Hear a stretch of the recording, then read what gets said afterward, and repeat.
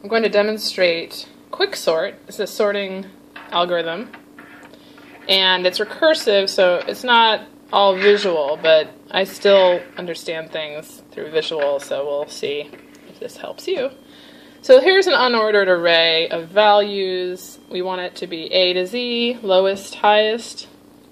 Insertion, I'm sorry, quicksort, uh, will basically sort a partition and then recursively sort the left and right side.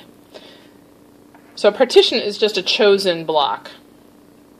So let's take um, F as our partition. I'm just randomly choosing one, which you can do, and there's cost um, impact on that, which you can think later, but right now let's just do a basic uh, quick sort. F is the partition.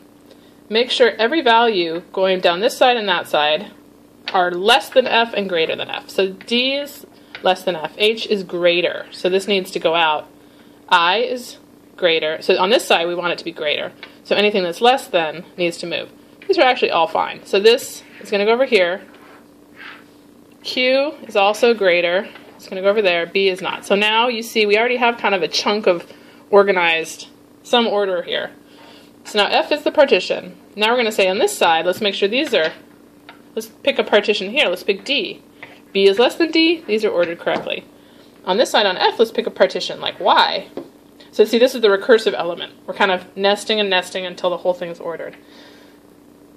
Is I, we, we can just know all of these are greater than, so it doesn't matter where they are, they just have to be on this side of the Y. It doesn't matter where they are in this set, it's greater than the Y. So now we will partition this side of Y, which is nothing. This side, we will now sort recursively with our quick sort. So let's pick I, H is in the right place, Q needs to go over here, RL is over here, so now we'll sort this side. HI is correct. RL.